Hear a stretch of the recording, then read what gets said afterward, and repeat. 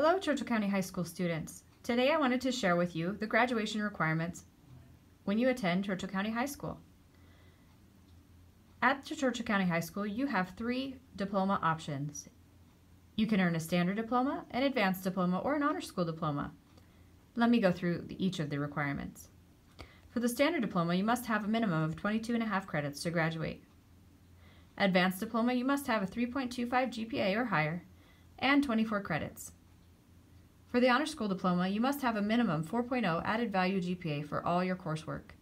You must submit those 24 credits for ranking with no grades of a D or an F. You must also have three AP classes and be of high character. I also want to share with you the credit audit worksheet. The credit audit worksheet is a good way to track your credits to make sure you're on track for graduation.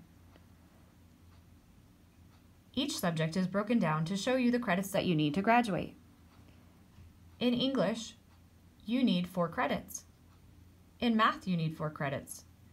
And two of those must be Algebra 1, both semesters, and Geometry, both semesters. For science, you need three credits. One has to be a life science, and one has to be a physical science. For PE, there are several, several ways to earn your credit. You could take a PE class, or you could also earn that credit by taking band or ROTC. Students who participate in sports can also get a waiver for that PE credit. World History, U.S. History, and Government, you must have one credit of each of those. For computers, you might have a waiver from the Churchill County Middle School. Check with your counselor to see if you have to take a computer credit or not. Or you can check your academic progress on Infinite Campus. There are several classes that fulfill the Arts and Humanities credit, including CTE courses.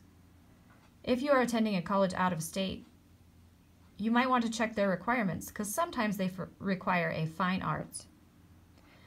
You need a half a credit of, credit of health or one semester. And you need four electives in order to graduate. If you have any questions, your counselor is willing to help you at any time. Stop by the counseling office to make an appointment, or you can email them and make an appointment. This is a good way to track your progress. You can fill it out on your own or with your counselor. If you have any questions, please let the counselors know. Thank you and have a wonderful day.